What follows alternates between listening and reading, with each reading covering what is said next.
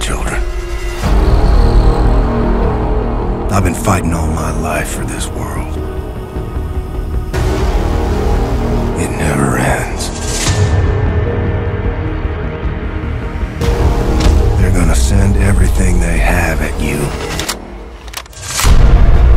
To survive, you have to embrace the suffering. To stand up and carry it. It's not about the pain you can deal. It's about how much you can take. It's do or die, sis. Just like Papa taught us.